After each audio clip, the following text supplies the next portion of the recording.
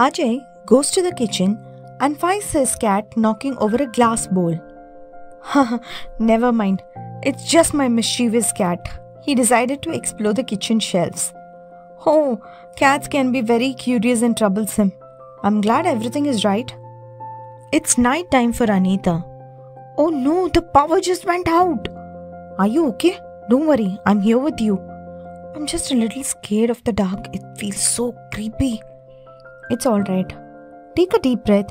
I'm here with you, even if it is just over the phone.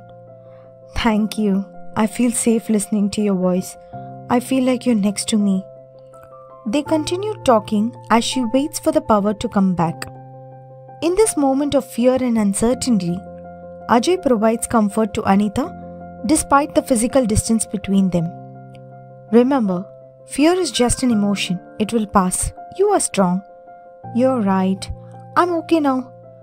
Thank you for being my pillar of support. Anytime. That's what we are here for to support and care for each other. I'm lucky to have you. And I feel the same way about you.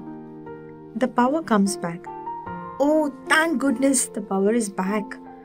See, everything is back to normal. Yes, you are like my personal superhero. Superhero at your service. They share a moment of laughter.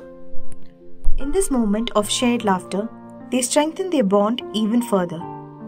I should get some rest now. Thank you for being there for me, Ajay. Anytime. For now, sweet dreams, and I'll talk to you soon. Good night. Take care.